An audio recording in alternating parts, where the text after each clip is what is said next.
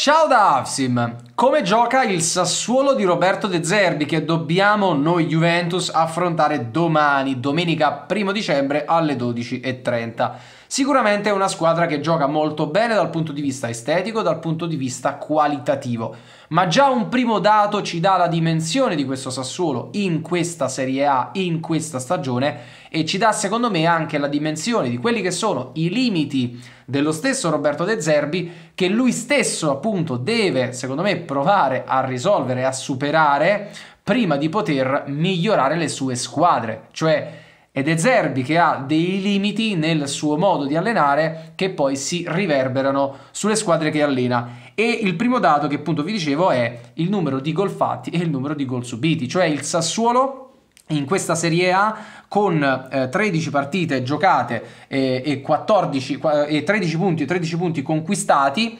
14 in Serie A, è terzo il Sassuolo per gol subiti ed è settimo per gol fatti. E chiaramente non c'è virtù in questo, non c'è equilibrio. 22 gol fatti e 23 subiti, quindi tra l'altro una media, una differenza reti negativa di meno 1. Significa che il Sassuolo Segna, prende, prende, troppi gol, scusatemi, segna abbastanza perché segna tanto, insomma per essere quattordicesimo, avere il settimo miglior attacco è, è una cosa positiva, ma anche la terza peggior difesa. E questo è sicuramente il primo dato allarmante di questo Sassuolo, significativo per quanto riguarda ehm, diciamo l'andamento di questa squadra e i difetti da eventualmente correggere. Parliamo comunque di una squadra molto tecnica. Possesso palla medio 55-2 per una squadra di bassa classifica significa che è comunque una squadra che pur non facendo risultato impone il proprio gioco. Con tra l'altro una grandissima precisione. Mi ha colpito molto il dato sulla precisione media dei passaggi del Sassuolo 86,1 perché si vedono squadre in Italia come in Europa che hanno risultati migliori, che hanno classifiche migliori, ma dati inferiori per quanto riguarda questo appunto la precisione dei passaggi. Male il Sassuolo duelli aerei non è assolutamente un pregio di questa squadra, anzi è un difetto. Perdono con grande facilità i duelli aerei, infatti ne vanno a fare solo 10,7 a partita, la metà di molte squadre che vediamo anche nel campionato italiano. Come vi dicevo, la fase difensiva sicuramente da migliorare, ben 12 tiri subiti a partita sono dei pericoli eccessivi eh, per quanto riguarda l'aspetto del recupero del pallone e dell'aggressività, fanno registrare 14,9 contrasti, che è un buon dato, così come gli intercetti 10,1 mi pare un dato significativo, evidentemente di una squadra che è tatticamente ben messa, che quindi ha un, ottima, un ottimo posizionamento in campo individuale, perché c'è molto individualismo anche in questo Sassuolo di Roberto De Zerbi, ma che comunque come squadra, come dinamica di squadra riesce anche a gestire bene l'aggressività e quindi la fase di difesa attiva eh, con questo tipo di dati che ce lo confermano. Per quanto riguarda la fase d'attacco, 14,3 tiri a partita,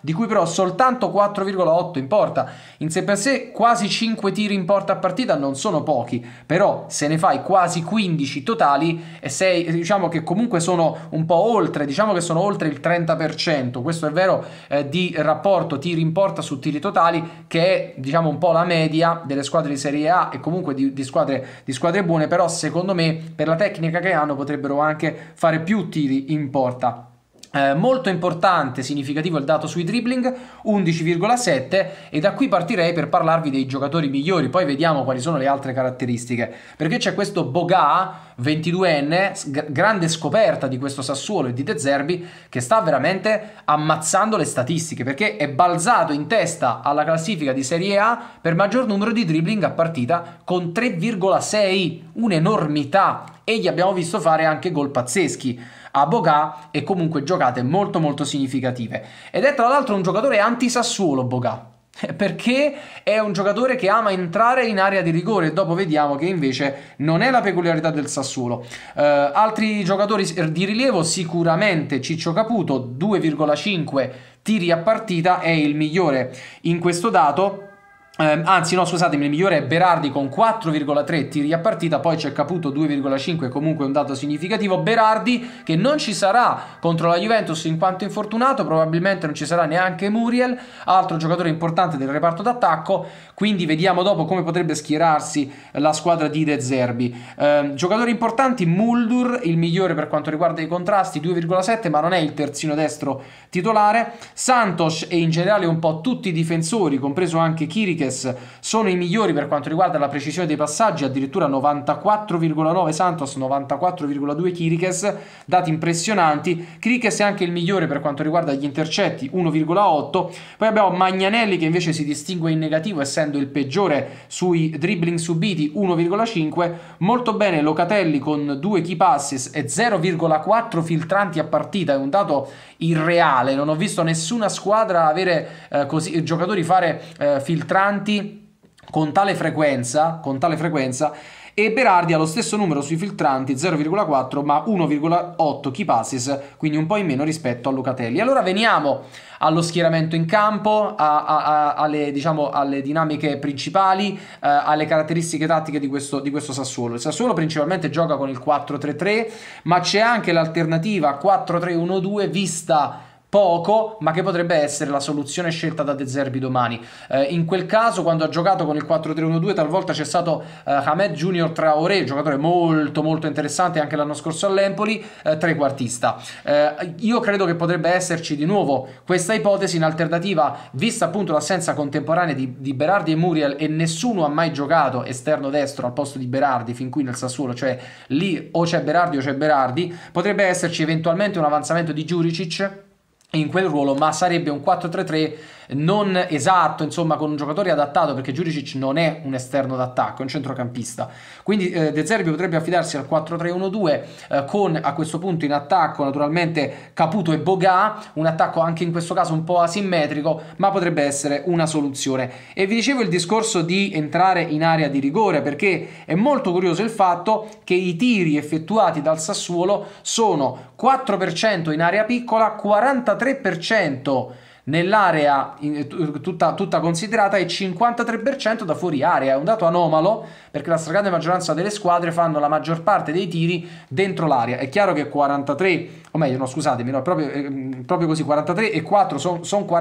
son 47, quindi diciamo che siamo quasi su un piano di uguaglianza, ma normalmente c'è proprio la minor parte, la minoranza dei tiri effettuati da fuori area. Quindi significa che il Sassuolo ha proprio la strategia di tirare da fuori area, di non andare ad occupare specificamente l'area di rigore, ma sono molto molto importanti i filtranti. I filtranti da parte del Sassuolo sono proprio un'arma in uno al gioco corto, palleggio corto, grande rete di passaggi, fitta rete di passaggi, possesso palla e eh, una preponderanza di giocate individuali. Parlando anche di distribuzione di gioco c'è un grandissimo equilibrio da parte del Sassuolo perché eh, in senso orizzontale non c'è una grossa differenza tra le fasce, 35 a sinistra, 32 al centro, 33 a destra e non c'è nessuna differenza tra terzo difensivo e terzo offensivo, 28% e 28% di tocchi di palla e quindi nel terzo centrale naturalmente per differenza ci sarà c'è il 45%. Per quanto riguarda invece dicevo la, la, la parte diciamo della vulnerabilità del Sassuolo, i dati dicono che subisce molto molti più tiri da sinistra, quindi è più vulnerabile sulla fascia sinistra, sulla loro fascia eh, sinistra dove c'è Peluso titolare, terzino sinistro titolare eh, e sono anche molto, molto, facilmente penetrabili in area di rigore, cioè loro non entrano facilmente in area di rigore scelgono di non farlo, proprio hanno questo, questo modo di giocare con frequenza, grande frequenza di tiri da lontano, però in termini di fase difensiva subiscono invece l'ingresso in area da parte delle squadre avversarie. In chiusura gli XG eh, ci dicono fondamentalmente che eh, sui piazzati il Sassuolo è sia abbastanza, abbastanza pericoloso sia molto vulnerabile variabile, cioè il più alto, eh, il numero più alto di XG eh, per tiro, cioè la più alta pericolosità dei tiri subiti dal Sassuolo si registra significativamente sui calci piazzati tutti considerati. Questi quindi sono i, i pregi e i difetti del Sassuolo di De Zerbi ad oggi, ad oggi 30 novembre, in vista di domani, primo dicembre, partita Juventus-Sassuolo all'Allianz Stadium. Ditemi come la pensate, naturalmente come vi ho scritto anche in descrizione, i dati che ho raccolto sono fonte uh, Who Scored, quindi uh, tutto tratto da lì. Ditemi come la pensate su questo Sassuolo, quanto pericoloso può essere per la Juventus